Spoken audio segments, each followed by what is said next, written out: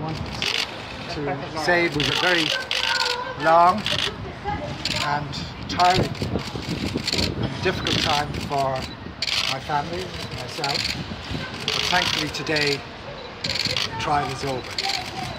Um, I've got a huge thanks to pay to my legal team, led by Bernard Condon and ably supported by Shelley Horan, Ed Ducey and Claire Cummins.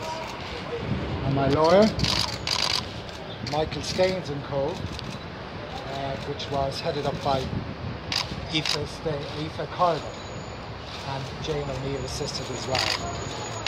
So as you can appreciate, it's a wonderful day for me and my family. Um, I appreciate the media's restraint in this current trial and I would hope that my privacy and that of my family um, is respected over the coming days. Thank you very much for everything. What now, Sean? about the investigation that's been very heavily criticised. No, no, nothing, no comment at all. Thank you very much.